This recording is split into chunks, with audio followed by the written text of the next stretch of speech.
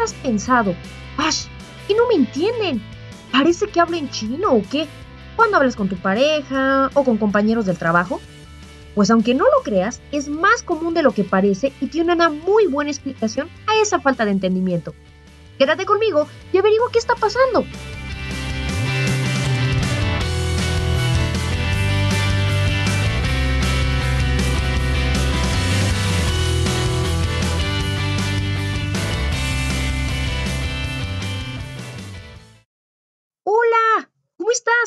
¿Qué tal tu día? Yo soy Ingrid Cervantes y bienvenido a un episodio más de Speak. La clave es comunicar. ¿Cuántas veces te has sentido frustrado porque dices algo y la gente parece no entenderte nada? Desde un chiste hasta instrucciones laborales, favores entre familia o indicaciones a un mesero.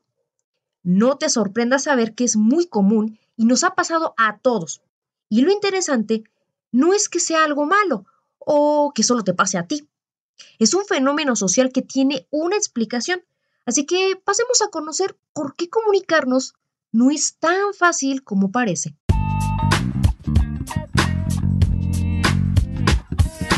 Resulta que dentro de toda situación comunicacional existe algo llamado ruido, que se refiere a todas las interferencias o perturbaciones que existen entre tú y tú o tus receptores, desde sonidos perturbadores, hasta las interferencias o problemas de contexto culturales. En resumen, es todo aquello que no permite llegar tu mensaje de forma clara a la otra persona. Pero no solamente existe el ruido como tal, existen seis tipos de ruido que vamos a clasificar en el programa y vamos a explicar uno a uno. Existen ruidos fisiológicos, psicológicos, ideológicos culturales, semánticos, físicos y técnicos. Los ruidos físicos ocurren cuando por situaciones anatómicas, como disfunciones en el aparato auditivo o enfermedades, son capaces de limitar la capacidad, valga la redundancia, de codificar los mensajes. No solo afecta el no poder escuchar, sino tampoco producir correctamente los mensajes. Piensa, por ejemplo, en personas tartamudas, sordomudos, mudos donde evidentemente de manera física crean mensajes poco entendibles y es ahí donde se puede observar mejor la, parte del ruido, porque la otra persona no puede entenderles bien o de plano no entiende nada. O piensa en un adulto mayor, como un abuelito al que le dices, abue, vamos a comer. Y él te dice, ¿qué? ¿Que vamos a correr? No, yo no voy. Evidentemente por la edad ya no escuchan bien su falta de audición le impide codificar el mensaje que tú emites. 2.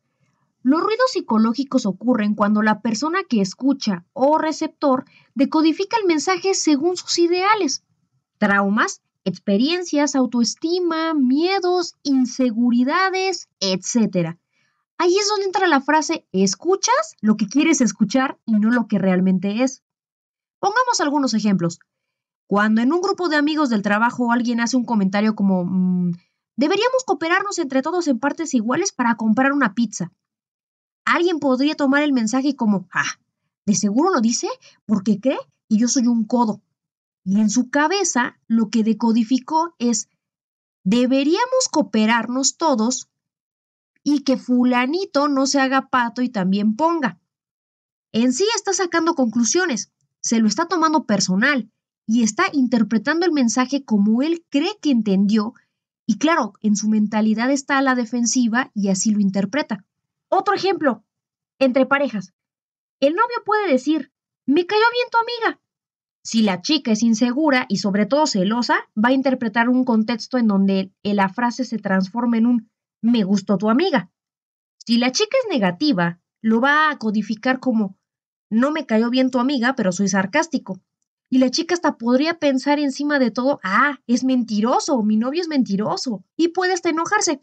La gente entiende el mensaje como su mentalidad, estado de ánimo y autoestima lo haga. 3. Ruido ideológico cultural. Para mí es uno de los más importantes y que la gente rara vez entiende. De ahí la mayoría de los conflictos sociales. Verás, todos los seres humanos, como somos también seres sociales, Desde la infancia adoptamos creencias, estilos de vida, pensamientos y estructuras que rigen nuestra vida. Y como estas construcciones se realizan desde la experiencia, que es única e individual, o sea, que va desde la educación familiar, la iglesia, la escuela, los amigos, la pareja y toda la gente que nos rodea, nunca va a ser obviamente la misma que la del resto del mundo. El problema viene cuando damos por hecho que los demás tienen el mismo bagaje cultural, ideológico, que se rodean de las mismas personas o que han vivido las mismas experiencias que nosotros. Y el problema viene cuando queremos que piensen, actúen y se entiendan al igual que nosotros. Te pongo un ejemplo. Imagina una persona que es de China, tratando de comunicarse con un mexicano. Si los dos no hablan español o los dos no hablan mandarín, no se van a poder entender. Y es ahí donde se hace presente el ruido cultural. En este término, obviamente, por el problema de de, idioma. O si hablan el mismo idioma, pero si los dos son de religiones distintas, al hablar de sus tradiciones, al estar compartiendo hábitos, tampoco se van a entender al principio de qué están hablando el otro, porque sus costumbres son distintas. Imagina un ejemplo laboral.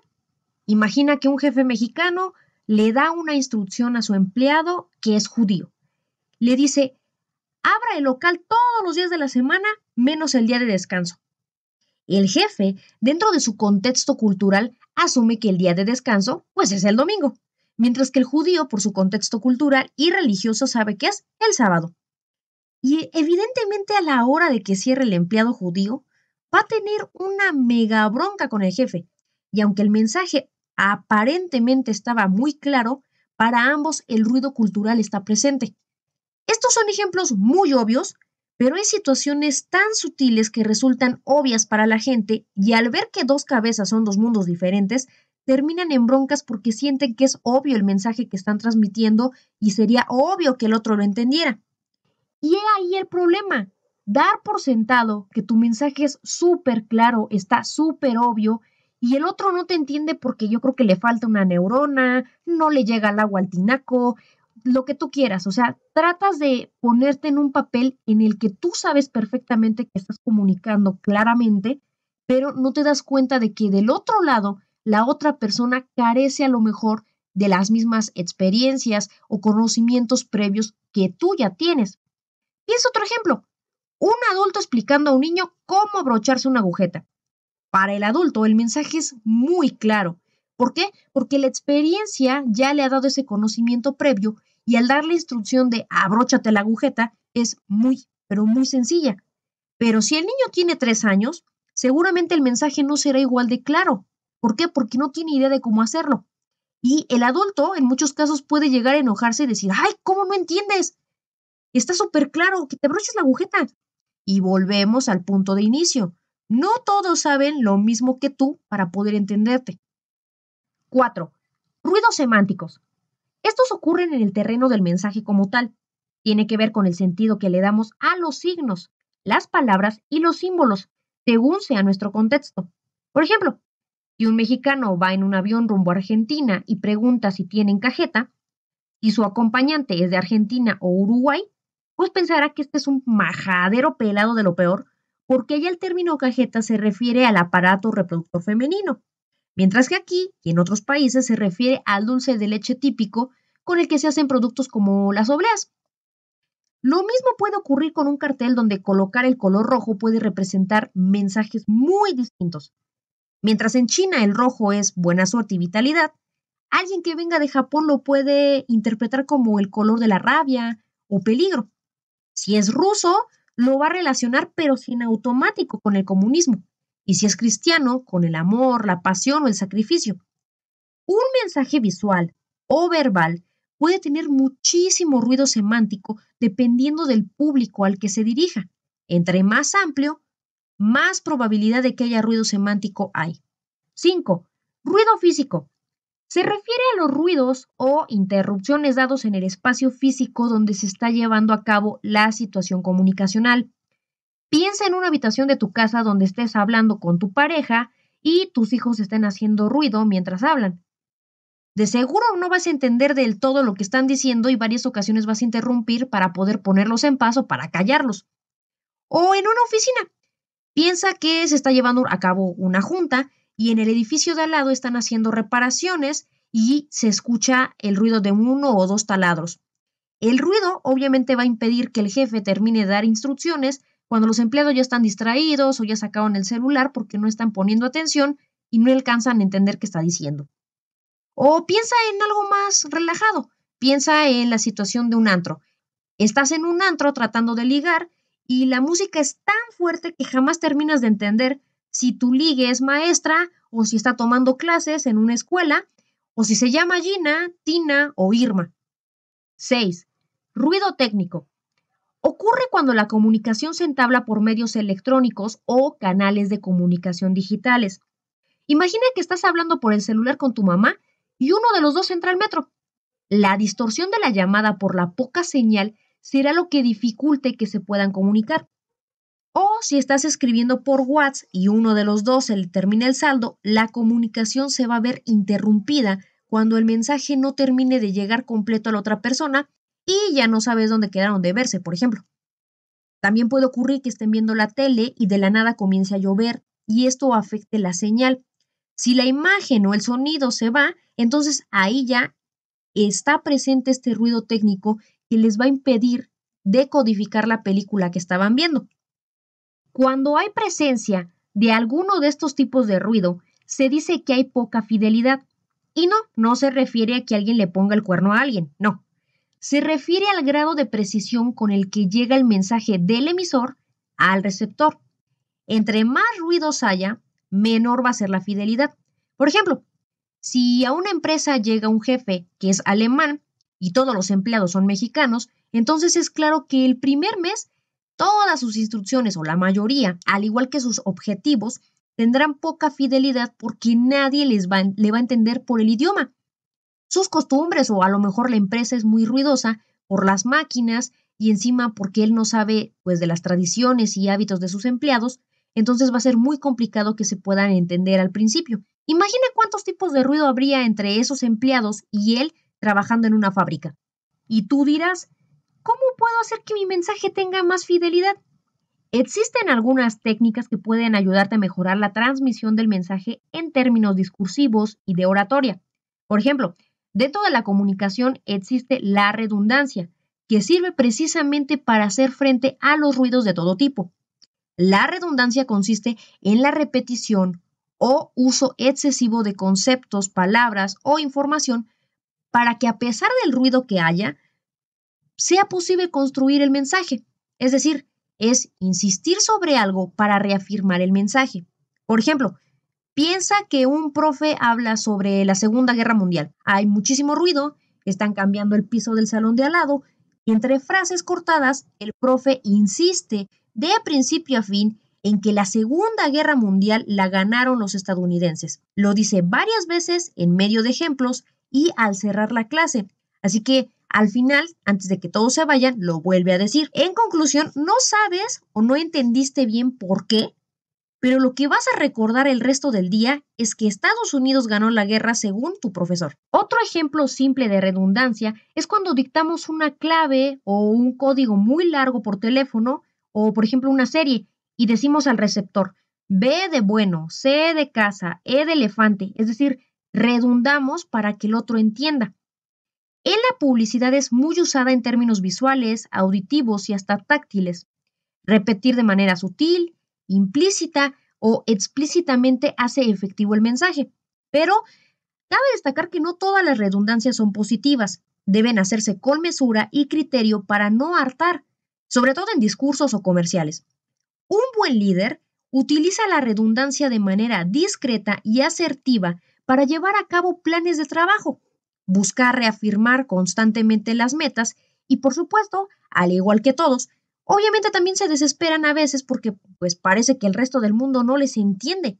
Pero la clave es ser paciente y buscar sinónimos o nuevas estrategias para reafirmar los objetivos, misiones y pasos para conseguir metas dentro de un negocio.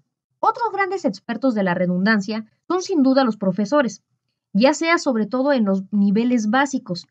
Piensa, por ejemplo, en una profesora de kinder. Siempre están buscando nuevas formas para que los niños aprendan y entiendan cosas como cómo hacer operaciones matemáticas. Te los dicen de muchas formas, muchas veces, utilizan nuevas palabras, juguetes, colores, frutas, es decir, están buscando cómo reiterar la esencia del mensaje para que los niños lo entiendan. ¿O cuándo has visto tú una maestra que se enoje porque un niño de 5 años no entiende cómo sumar? bueno, sí las hay. Pero esas son malas maestras que ya perdieron la pasión por la enseñanza y esa es otra historia. Pero en su mayoría, las profesoras de estos niveles buscan hacer de la redundancia su arma de enseñanza en niveles como el kinder o la primaria. Así que la próxima vez que te desesperes porque sientes que no te entiende tu novia, tu empleado, tu hermano o quien sea, Analiza qué tipo de ruido hay entre ustedes y busca formas que ayuden a que tu mensaje tenga más fidelidad y cómo puedes tú buscar ser más redundante. Quiero cerrar el programa con la siguiente frase. Los buenos líderes deben comunicar la visión claramente, creativamente y continuamente. Sin embargo, la visión no se vuelve real hasta que el líder la revela. John Maxwell. Yo soy Ingrid Cervantes y espero te sirva esta información que cura y hayas aprendido algo nuevo. De antemano, mil, mil gracias por darme lo más valioso que una persona puede dar, tu tiempo. Ah, por cierto, cuéntame si te gusta el programa, si te aburrí, también dímelo y vemos qué podemos hacer para mejorar, ¿va? Dale me gusta en la plataforma que me estés escuchando, ya sea iBots, iTunes o YouTube. Anda, de verdad yo sé que tú quieres ayuda a esta pequeña mortal a no entrar en depresión porque siento que no me pelas. Si te sirvió o gustó, comparte con aquellos emprendedores como tú. Y si no, pónselo a quien te caiga gordo. La decisión es tuya. La verdad espero y estés disfrutando mucho de estos programas que con mucho cariño hago para ti. Te espero en el próximo episodio de tu programa Speak, el programa donde vas a conocer todos los temas relacionados a comunicar y emprender. Speak. La clave es comunicar.